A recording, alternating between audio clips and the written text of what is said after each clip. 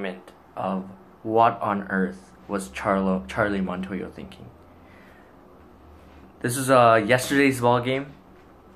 I'm just gonna break it down really simply. We lost that game 9-3.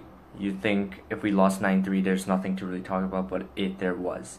Hyunjin Ryu, the Blue Jays ace, threw a gem. 2-2, and then the Jays scored a run 3-2. So he was pitching in the seventh, and then uh, he gave up a triple in which uh, George Springer he jumped and landed awkwardly. He had to be uh, he had to walk out of the game. He he had to be substituted with uh, I believe it was Grichuk.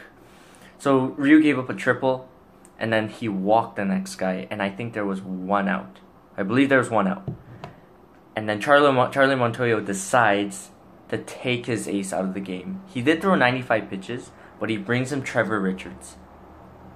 And guess what Richards does? He gives up a two a three run home run to Luis Torrens, I believe. He had a he had a bomb. Three run three run shot. So now it's not a 3-2 Blue Jays lead, it's a 5-3 deficit. And then Richards gives up another home run, so back to back home runs, and he gives it up to a 153 hitter. So, enough said there. So again, to uh, another bad decision, but I'm gonna say this. Montoyo didn't make the worst decision in the world because although he did take out his ace when he was, uh, you know, in a little bit of trouble, Trevor Richards, he's a right-handed pitcher. Ryu's a left-handed pitcher, and the next batter, Luis Torrens, I believe he was, uh, he's a right-handed batter. Right-handed pitcher to a right-handed batter, it's advantage pitcher.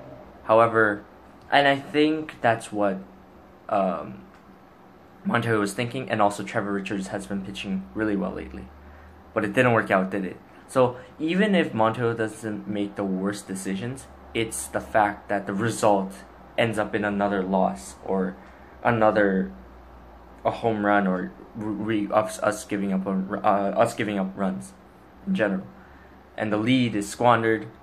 We give up the six three lead. The next inning, another mistake. Here's the thing. Just because there's no one on base, I think the eighth and ninth inning, just the fact that it's the eighth and ninth inning, that is um, high leverage situation. And guess who bring he brings in? Rafael Dolis, the guy who takes 15 minutes to make one pitch. He gives up what was it?